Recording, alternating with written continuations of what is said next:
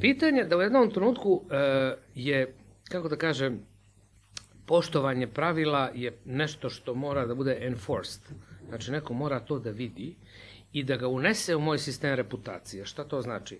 Svak, svaki prekršaj koji je vidljiv narušava moju reputaciju, meni je reputacija strašno važna, pogotovo u hjerarhijskim sistemima. E sad, šta je vladavina prava? Koliko god ona bila neki ideal koji, da se razumijemo, nigdje ne postoji u apsolutnom smislu, da se ne, da se ne zavaravamo, ali negdje postoji više nego kod nas. To definitivno ima prostora. E sad, to je onaj osjećaj da ja pripadam nekoj cijelini, da smo mi povezani između sebe i da e, ako ja učinim nešto nažao, da kažem, zajednici, ja činim i sebi na taj način nažao. Ako ja skratim uglove, ako ja ne idem onim travnjakom ovako, nego malo pre, pre, pre, prepriječujem preko travnjaka, ja? dobro, ja sam stigao brže, ali osjećaj pripadnosti zajednici, čiju sam zajedničku imovinu narušio, me u tome zaustavlja. Ovo je, gospodo, jedna vrlo skora tekovina u našoj civilizaciji. I vrlo malo društava na svijetu ima tu tekovinu. Vrlo malo društava je doseglo taj nivo. I mi smo neđe kucamo na vrata, u predvorju smo, imamo još da klackamo dotle i tako dalje. Jesmo li bolji od nekih? Jesmo. Jesmo li tamo? Nismo. Međutim, to nije i ja se strašno ljutim kada čujem vrlo često nevladine organizacije koje žele da prom... ajde da promovišemo vladavinu prava. Čime? Kampanja za vladavinu prava. Ma nemojte da pričamo pričamo. Ma nemojte da pričamo. Prvo moramo da je definišemo. To izgleda, to meni uvijek izgleda kad e, dođe do neke izjave, trebaju nam inkluzivnije i demokratske institucije, treba da promijenimo mentalitet. Izgleda mi kao da čovjek dođe de, osobi koja boluje od depresije i kaže, ajde, što ti malo ne razmišljaš pozitivnije? malo ustani. Izađi malo napolje. Prošetajmo.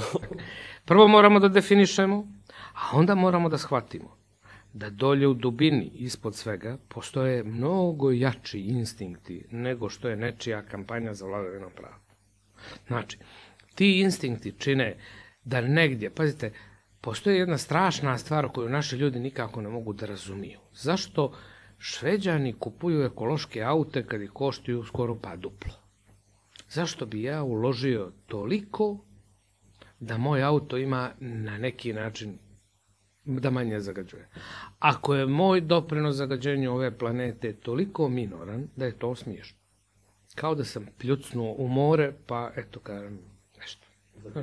Zagađivač. E, zato što se osjećaju povezanima. Države u kojima nije bilo institucija, koje su godinama se funkcionisale na bazi ratovanja i međusobnog otimanja, gdje nema povjerenja, gdje je strah, a rekao bih i stid, to je jedna druga priča, ali strah, taj koji je izgradio konstantne zidove između mene i svih.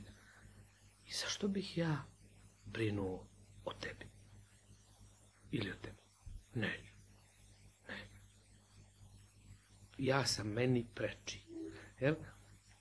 Je li to nešto što treba moralno osuditi? Ne. To je podešavanje, to je prirodno podešavanje u datim uslovima. To je gene culture coevolution.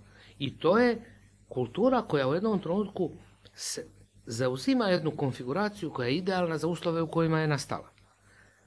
Da li su ti uslovi u ovom trenutku takvi ni, ni iz daleka? Ne daj Bože da nas od nas očekuje prije svega sposobnost kolaboracije, prije svega prevazilaženje svih ovih identitetskih i ostalih razlika, prije svega sposobnost stvar inicijative, leadershipa, otvaranja ka drugome da bi drugi meni vjerovao da bi svi zajedno pošli ka nekom zajedničkom cilju.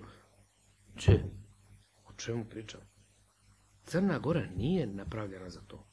Da li to znači da Crna Gora nema spasa? Daleko od toga ali ojačati one koji su u stanju takve stvari da urade bi trebalo da bude prioritetna, oni su izuzetno rijetki u Crnoj Gori.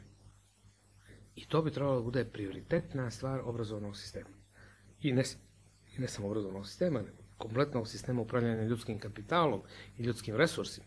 Oni koji pokreću poslovne inicijative, oni koji prave startupove, oni koji su kreativni, oni koji se bave naukom, oni koji se bave tehnologijom, oni koji nas prebacuju preko, preko rijeke Styx i vraćaju nas iz pakla u, u, u srednjeg vijeka u nešto što bi mogla da bude jedna kolaborativna Evropa. Jedna Evropa u kojoj meritokratska Evropa, jedna Evropa u kojoj se razgovara, u kojoj se dogovara.